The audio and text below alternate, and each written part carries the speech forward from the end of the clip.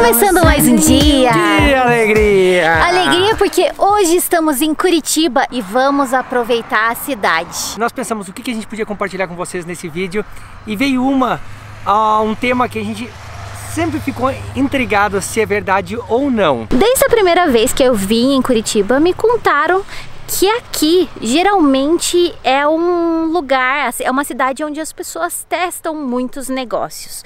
Por exemplo, se existe uma cadeia de restaurantes que vai abrir os negócios aqui no Brasil, eles primeiro abrem uma loja aqui em Curitiba e depois, se der certo aqui em Curitiba, eles abrem no restante do país. Por exemplo, peças de teatro, eles primeiro fazem a primeira apresentação aqui em Curitiba para depois fazer no restante do país e muitos outros negócios. E aí eu fico me perguntando, o porquê disso?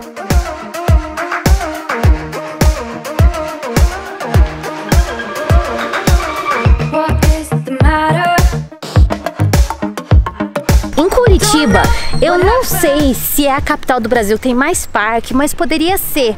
Eu não tenho esse dado. Porque quando a gente perguntou o que, a gente poderia conhecer aqui em Curitiba, muita gente falou e deu dicas de vários parques. E como a gente estava um pouco com saudade de parques, porque a gente parou numa cidade muito urbana por um mês, a gente tá com saudade assim do verde, da tranquilidade que o parque nos traz. Isso aqui não é um parque, infelizmente é um bosque, é chamado de bosque, mas poderia ser um parque. A gente veio no Bosque do Alemão. Por acaso, os alemães, tem muitos descendentes de alemães aqui em Curitiba, mas é muito bonito. E sabe o que me chama a atenção? A limpeza do bosque. Lost without you. Thought you would come over.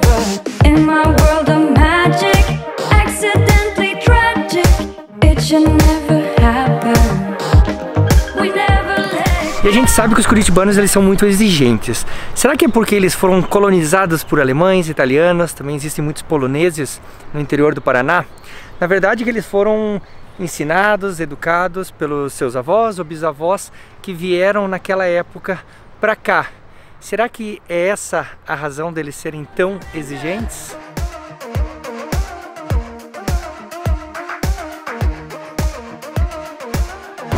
Romulo tá empolgadíssimo agora com stories.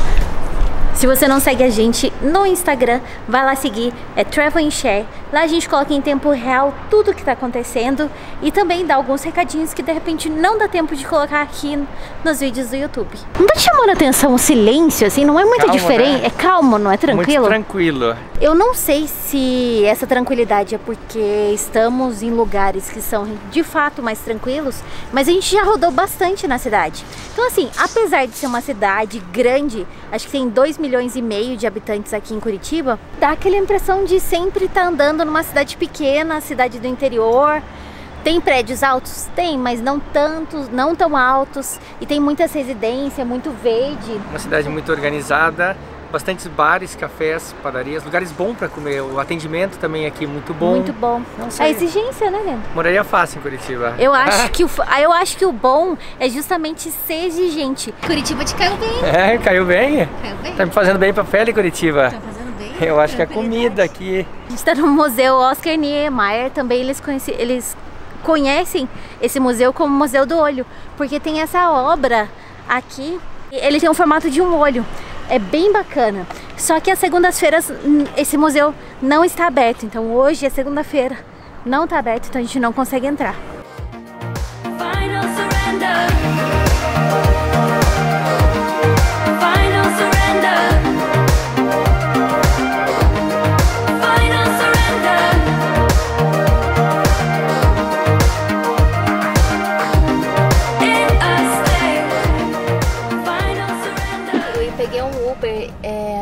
Chegou em Curitiba. Ele me perguntou o que, que eu vim fazer aqui e aí eu contei pra ele que eu vim fazer uma palestra. Ele, ah, você já faz palestra? Eu falei, não, dessa palestra vai ser a primeira. Aí ele, ah, que bom, porque se você fizer a primeira palestra aqui e se você for aplaudido, significa que vocês vão ter sucesso nos outros locais. Agora, se você não for aplaudido aqui em Curitiba, aí Pode ser um problema. pode ser um problema.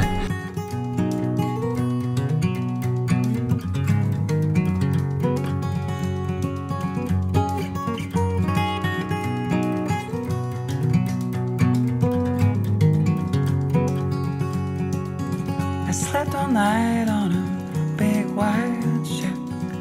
Seagulls were dancing all around. I woke up with a sunrise on the sea. Finalmente encontramos um lugar aberto nessa cidade. Uhul. Nós viemos no Jardim Botânico. E sim, é um dos lugares que precisa ser visitado. Ele parece um parque, mas é um jardim botânico. Aliás, a gente só está indo em lugares que parecem ser parques, mas não são parques. Hoje a gente tirou o dia, bosque, jardim, botânica e um parque. Va- Vamos ver se a gente consegue achar um parque. Mas enfim, viemos no Jardim Botânico.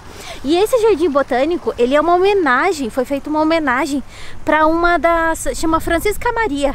Foi uma das pioneiras da arquitetura urbana paranaense. E é muito bonito. Você sabe que eu até fiquei em dúvida, porque tem dois lugares que são muito famosos aqui em Curitiba, que é a Ópera de Arame e o Jardim Botânico, porque tem uma construção assim diferente, uma estrutura diferente. E aí na hora que eu olhei, eu falei, olha a ópera. Mas não, era o Jardim Botânico. Esse- bonito, né? Bem Se eu não bonito. me engano, esse é um dos cartões postais aqui da cidade, né? Sim, sem dúvida. Remembered me, the beauty of this life. Such a feeling to be alive. The salty breeze. Eu sinto que eu tô entrando num bosque, numa mini floresta. Que legal. Essa parte fechada aqui, tava lendo ali que existe vários tipos de árvores. Olha aqui, ó, por exemplo, palmito. Se botasse uma caminha aqui, eu já tirava uma, um soninho aqui. Olha só o barulho da água. E o melhor do jardim botânico aqui que é gratuito. A gente conseguiu estacionar o carro fora no estacionamento e pode vir fazer um passeio e sem gastar nada. Eu não sei se é por acaso, mas o restaurante que a gente mais gosta de comer, que é uma cadeia de restaurantes, e ele é daqui de Curitiba. Tem vários negócios que começaram aqui em Curitiba, mas por acaso o que a gente mais gosta de comer quando a gente vem pro Brasil é um que nasceu aqui em Curitiba. Que é o Madeira, ó. É, uma coisa é verdade. Há mais ou menos 20 anos atrás, 30 anos atrás, Curitiba era uma cidade bem fechada. Então, quem vivia aqui eram os curitibanos ou paranaenses que vieram viver em Curitiba para estudar ou por alguma razão. Mas era muito fechado porque eram só os curitibanos que viviam aqui. Só que quando empresas começaram a se instalar, precisavam de mais mão de obra. Então, muita gente, tanto do norte do país, São Paulo ou quanto do sul, eles vieram para Curitiba. E aí, quando vem gente de fora, eu acho que eles começaram a se tornar pessoas mais abertas a fazer novas amizades, enfim. Eu não acho o curitibano frio. Talvez isso é meio que uma fama que eles trouxeram da época que eles simplesmente eram a maioria da população de Curitiba era curitibanos e aí sempre que aparecia, sei lá, os, umas pessoas de fora, talvez não tinham oportunidade tanto quanto tem agora de fazer amizades. Mas não acho não. Você acha que eles são frios? Não, nem um pouco. Pelo menos os que a gente conhece não são frios, pelo contrário. São- São, muito Abertos, né? abertos. We never let it go. Blessed are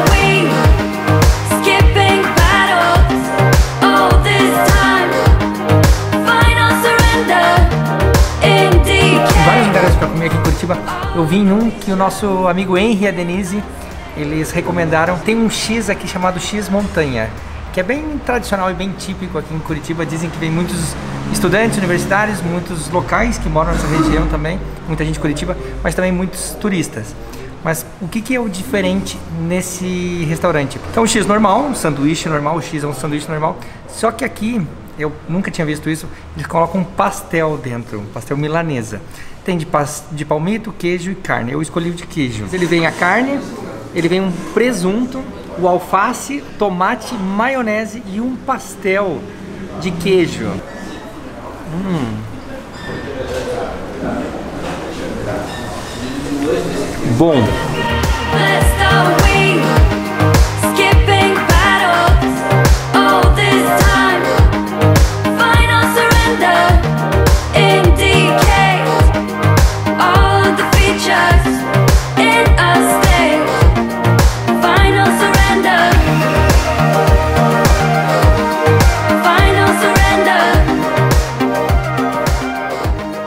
Aqui conhecer agora o Parque Barigui, que é um parque que falaram que, como a gente acorda às 5 da manhã, é um parque que seria legal pra gente vir fazer atividade física.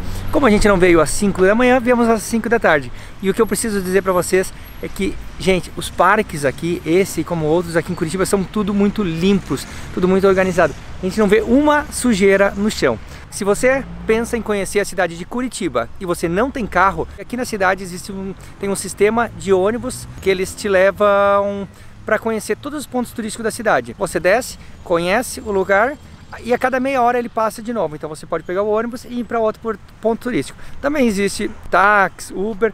Esse ônibus eu acho que é uma ideia muito boa para aquelas pessoas que querem conhecer a cidade. Uh, fazendo frio, me. Tá fazendo frio, né? Olha, minha prima que mora em Curitiba, ela disse que um dia se conhecia a cidade. Não. Eu acho que tem muita coisa. Assim, para ver a cidade, você vem em um dia. Só que como tem muitos parques, eu acho que vale muito a pena você viver a experiência de Curitiba, sabe? De poder parar num parque, aproveitar um dia ali, curtir, ir em restaurante, provar comida, aproveitar realmente, sabe, a cidade que tem muita coisa para oferecer. Agora, se você quiser só ver, aí você consegue ver. Então espero que você tenha gostado e se você acha os curitibanos também muito exigentes, deixa aqui no comentário se você conhece algum curitibano ou se você é um curitibano, deixa aqui nos comentários a sua opinião sobre essa questão do curitibano ser exigente ou eu não. Eu acho que eles estão certinhos. O que, que, você acha? Eu acho que tá eu certo. Eu acho que tá certo. Tem que ser exigente, principalmente quando você está investindo seu dinheiro. Você tem que cobrar uma coisa bem legal, bem, bem um serviço bom. Eu acho que eles fazem mais do que o direito deles. Agora vamos ver o que, que eles vão dizer da nossa palestra. Então, nos vemos amanhã com mais vídeos. E mais histórias. Tchau.